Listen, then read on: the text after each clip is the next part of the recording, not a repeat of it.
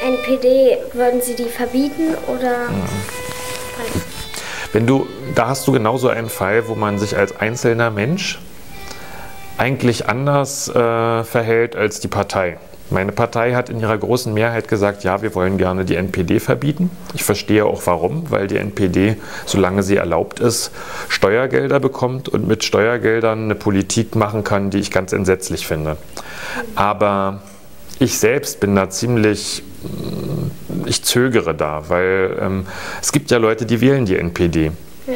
Und wenn man die NPD verbietet, dann denken die Leute ja trotzdem immer noch, dass sie so eine Partei wie die NPD wählen wollen. Und ich kann ja den Leuten nicht das Denken verbieten. Also muss ich lieber mit den Leuten reden, warum sie das tun und versuchen, sie davon abzubringen, als die Partei zu verbieten. Aber in Parteien hat man nur ein Mittel, man diskutiert miteinander, am Schluss macht man eine Abstimmung und wenn die Mehrheit sagt, wir wollen das jetzt machen, dann bin ich in den meisten Fällen auch bereit, das zu akzeptieren. Insofern werde ich da den Weg mitgehen. Aber ich will nicht verheimlichen, dass ich da ein bisschen Bauchschmerzen habe. Ich bin strikt für verbieten. Okay.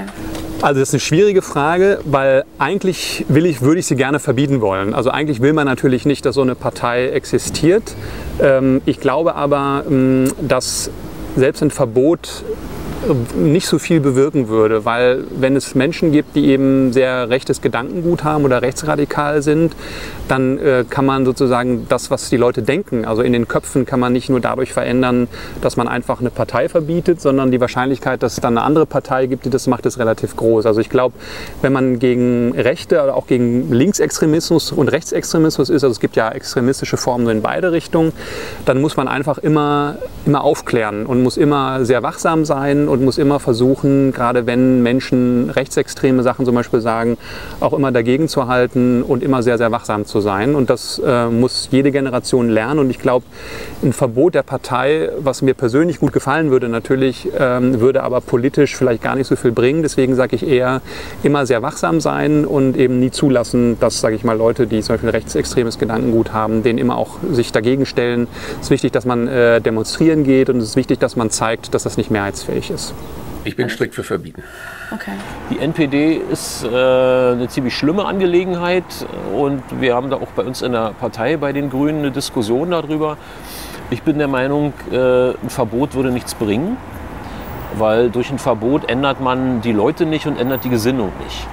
Eigentlich ist die Aufgabe eher, äh, mit denen sich auseinanderzusetzen äh, und den Leuten hier in unserem Bezirk und überall zu sagen, äh, wählt die nicht aus den und den Gründen das ist, glaube ich, der bessere Weg. Also wir würden durch äh, Verbieten das Problem nicht lösen.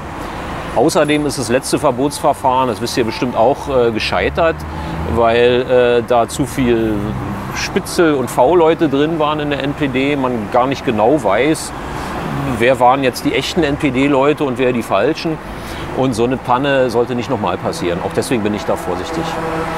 Also ich finde, die sind, äh, stehen außerhalb des Grundgesetzes. Äh, ich habe gerade heute, hatte ich einen Pankow-Termin, da haben die wieder ein, äh, kann ich nur sagen, rassistisches und ausländerfeindliches Plakat hingesetzt und dass die von meinen Steuergeldern solche Plakate aufhängen können, finde ich nicht angemessen. Ich bin dafür ganz klare Kante.